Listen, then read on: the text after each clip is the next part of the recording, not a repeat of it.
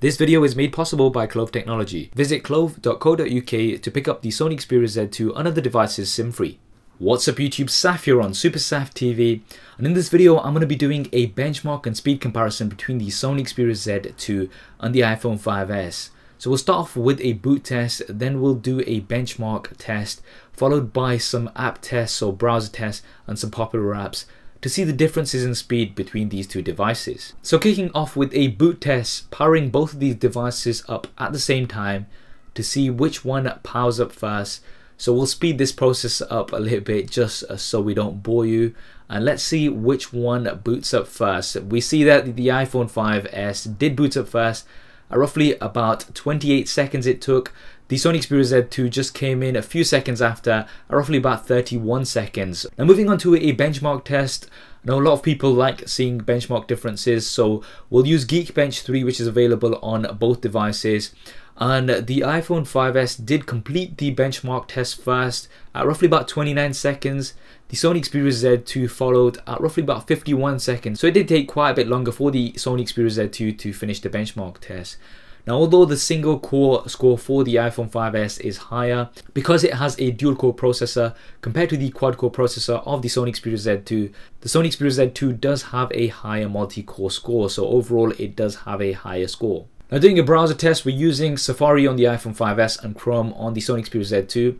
So we'll use The Verge as an example because that's a nice heavy website to test out. And pressing both at the same time, we can see that the Sony Xperia Z2 does start showing the content first and both are still loading. We can see that they're wearing away at the top. There's a blue bar on the Sony Xperia Z2 and there's that little circle loading icon on the iPhone 5s. And both of them are finished loading at pretty much exactly the same time so I'm going to call that a draw. Now moving down and uh, checking out the full Verge website which is very very heavy and has lots of content. If we click them both at the same time we can see that once again we start seeing the content first on the Sony Xperia Z2 but in terms of load times if we still look at the top concentrate there the Sony Xperia Z2 does finish first. We can see that the iPhone 5s is still loading up a little bit.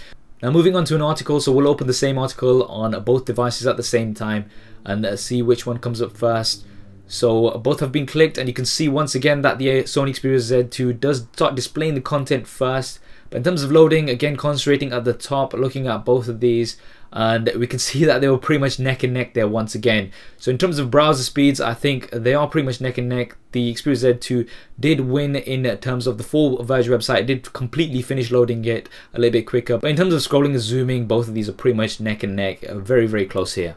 Now moving on to a popular app, so we'll try Instagram. So uh, pressing it both at the same time we start seeing the content on the iPhone 5s first, but they pretty much finish loading at exactly the same time. So that's pretty much a tie there once again. Now moving on to some content, so just browsing through the app, checking out some images and things, we can see that again, neck and neck, very, very close here. It's very hard to tell if there's any difference whatsoever.